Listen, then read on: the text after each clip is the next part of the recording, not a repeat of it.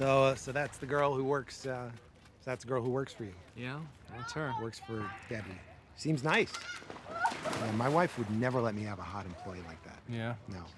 Every woman who works for us uh, looks like they've been in some kind of horrible accident.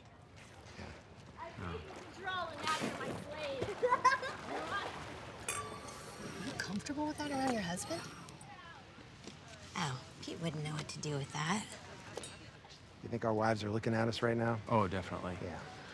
They look like pedophiles.